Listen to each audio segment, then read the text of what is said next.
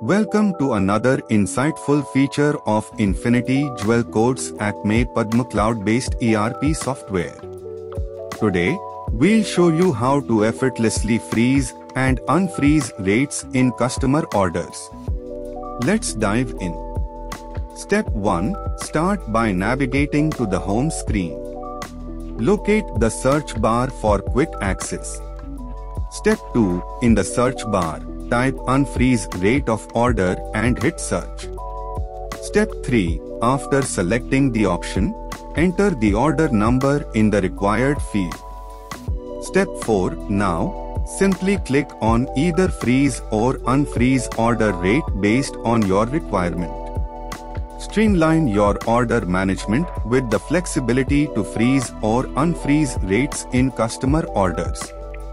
It's all about giving you control and convenience.